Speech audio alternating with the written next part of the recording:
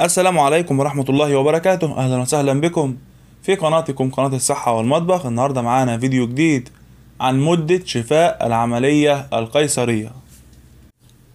تشير العديد من الأبحاث إلى أن الشفاء التام من الولادة القيصرية يستغرق ما بين أربعة لستة أسابيع.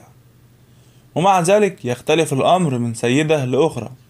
ويشير بعض الأبحاث إلى أن بعض النساء قد يأخذن وقتا أطول للشفاء. وأفادت دراسة أخرى أن 60% من النساء يعانين من بعض الألم في جرح العملية بعد 24 أسبوع من الولادة. أول 24 ساعة بعد الولادة.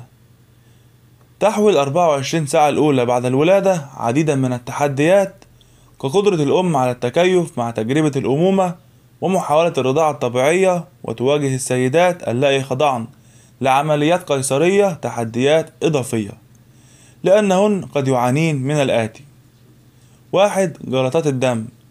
أحد أكبر مخاطر الولادة القيصرية هو الإصابة بجلطة دموية في الساق.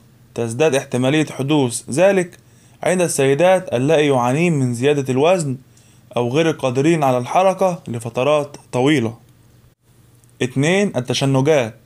في أول 24 ساعة من الشائع الشعور بألم في موقع الجرح وتشعر عديدات بتقلصات ما بعد الولادة التي تحدث بسبب تقلص الرحم تشبه هذه الأحاسيس تقلصات الدورة الشهرية ولكنها تكون أكثر حدة. ثلاثة مراقبة العدوى.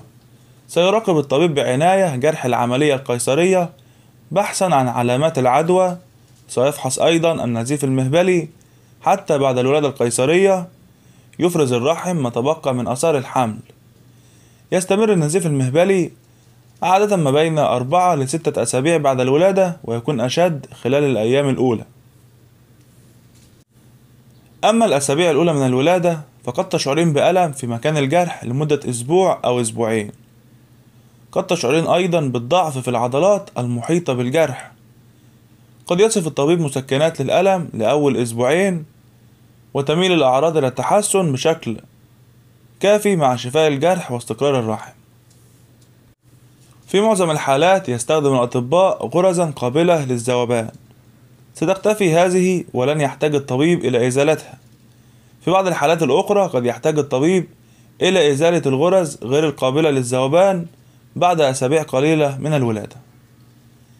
في نهاية الفيديو ننوه أن المعلومات المذكورة في هذا الفيديو لا تغني أبدا عن زيارة الطبيب وللمزيد من المعلومات حول هذا الموضوع يمكنكم الرجوع لمصدر هذه المعلومات في وصف الفيديو. في نهاية الفيديو لو عجبكم يا ريت تدعمونا ب like و comment وتشاركوا الفيديو مع أصدقائكم وتشاركوا معنا في القناة وتنتظروا مننا كل جديد في قناتكم قناة الصحة والمطبخ.